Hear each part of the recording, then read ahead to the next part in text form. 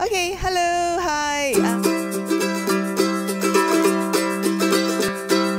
today is our first time doing uh, an event setup at the Sea Aquarium in uh, Resort World Sentosa. So we are doing this for our lovely couple, uh, Kelvin and Linda.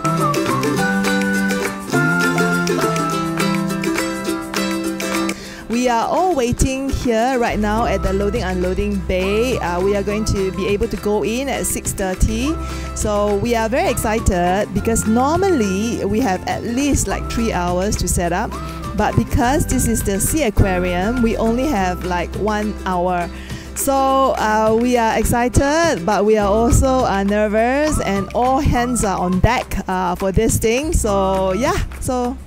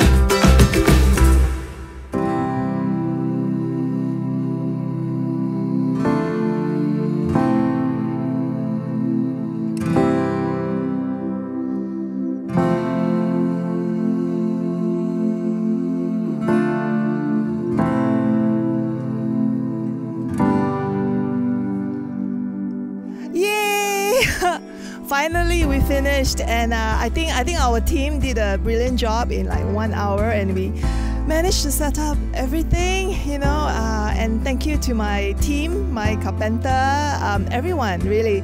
Uh, and RWS has been a fantastic and really fulfilling, and yeah, just beautiful.